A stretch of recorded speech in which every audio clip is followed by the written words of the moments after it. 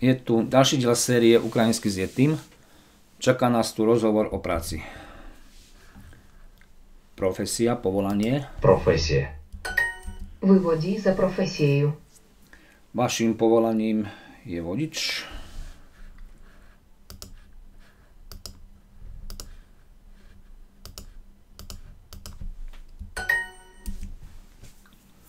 Dizajner. Dizajner Є пенсіонер. А ви? Ja som dôchodca. A vy? Psycholog. Психолог. Вона продавець. Ona je predavačka.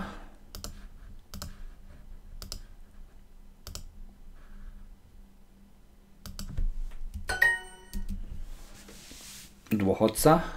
Пенсіонер. Ні, я не продавець. Nie, ja nie som predavač.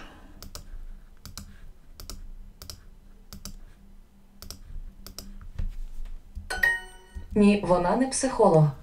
Nie, Ні. ona nie je psycholog. Вона Не. психолог. Продавець тут, так, продавець тут. Predavač je, Продавець. je predavač tu? Тут. Áno. Так, Predavač, predavač je tu. продавець. Тут. Є директор. Ja som riaditeľ. A vy?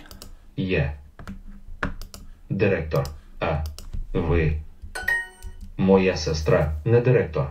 Moja sestra nie je raditeľka. Моя сестра не директор. Perfektne.